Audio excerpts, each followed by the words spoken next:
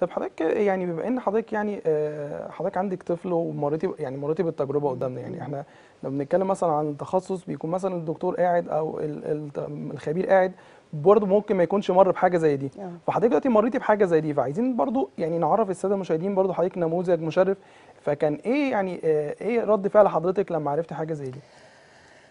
اولا طبعا بغض النظر ان أنا دراستي في علوم الهندسة الوراثية بس أنا من الستات اللي كانت خلاص يعني خلاص درستها وقعدت في البيت. آه. لما ربنا أكرمني بالصغير إسماعيل آه إن هو Down syndrome فده خلاني تغيرت 180 درجة خلاص أنا مش الست الكسولة اللي قاعدة لأ ده في كائن معايا.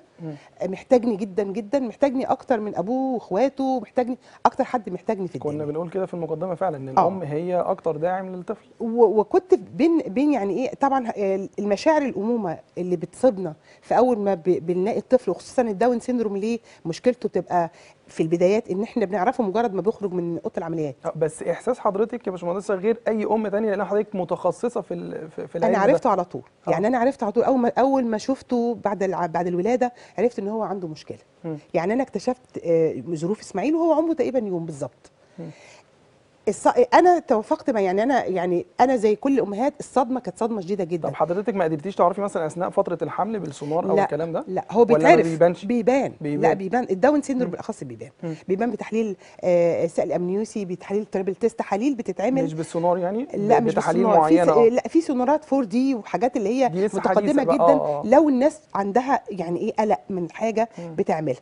بس الدنيا كانت ماشية كويس ما فيش مشكلة لا السن مثلا لأن برضو عوامل السن مش موجودة إن أنا سني كبير أو حاجة ما عنديش الأسباب اللي آه. تخليني أقلق من حاجة زي لا سن ولا زواج أقارب ولا ولا حاجة خالص. ولا نفسية سيئة خالص هي خالص آه. آه بس بقول لك إن إحنا الصدمة كانت رهيبة. الصدمة اللي هي يعني إيه؟ طب ده صدمه مش رفض. أنا بالنسبة لي كانت صدمه راس صدمه طب يا ترى ده هيكون إيه؟ يا ترى إيه اللي هيحصل له إيه؟ آه. هعمل معاه إيه؟ إيه تطوراته؟ يا ترى هيعيش؟ هيموت؟ يا ترى مم. المجتمع هيتقبله؟ طب اخواته؟ طب باباه؟ طب هعمل هعمل معاه إيه؟ مم. كل دي أسئلة طبعا. آه. أنا في محافظة بعيده عن القاهرة فالمحافظات بعيده عن القاهرة ما فيهاش الخدمات الكافية اللي تخليك تبقى مطمن حتى إن أنت تودي ابنك لو, حصل عنده له مشكلة. آه. مم. بس الفرق بيني وبينه واللي خلاني يعني أبقى موجودة حتى قدامكم النهارده هو إن أنا فقت بدري. يعني أنا تقريبا عند عمر أسبوع من من من سن ابني. كنت خلاص بدأت أعمل الفحوص واتأكدت إن هو عنده مشكلة. بدأت أدخل بالعلاج اللازم ليه حتى لو كان من بره مصر. كنت بجيبه وبدأت على طول في التدخل المبكر اللي هو أساس شغلي دلوقتي. أيوه أيوة. خلاص أنا اكتشفت المشكلة فين وبعد كده دخلنا بالعلاج المناسب مع الأطباء المتخصصين.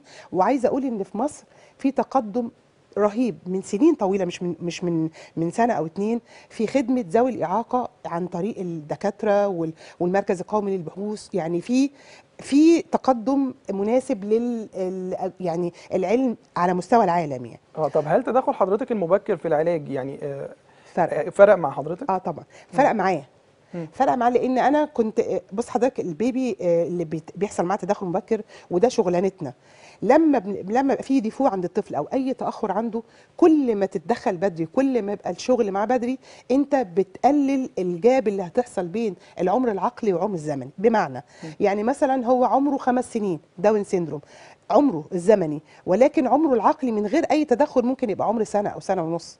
أيوة. إنما بالتدخل وبالشغل معاه العلمي الصح من تدخل مبكر وتأهيل وتخاطب وتنميه قدرات ومهارات حاجات كتير قوي ال gap دي بتقصر. مش هقول لك هتبقى خمسة خمسة. آه، م- كنت لسه أقول لحضرتك ممكن يبقى إنسان طبيعي؟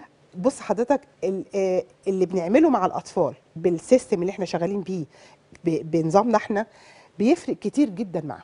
يعني بيخليهم في كل نواحي الحياة تقريبا normal فيما عدا ممكن يكون تأخر دراسي ممكن يكون تأخر في في الجزء التحصيلي مش مشكلة. إنما إحنا مهمتنا إن إحنا نخليهم يعتمدوا على نفسهم إن هم يأكلوا نفسهم يشربوا نفسهم يلبسوا آه، إن هم يتع- يتعلموا الكتابة والقراية إن هم يتعلموا حرف ومهن إن هم يتكلموا كويس. طيب استاذن حضرتك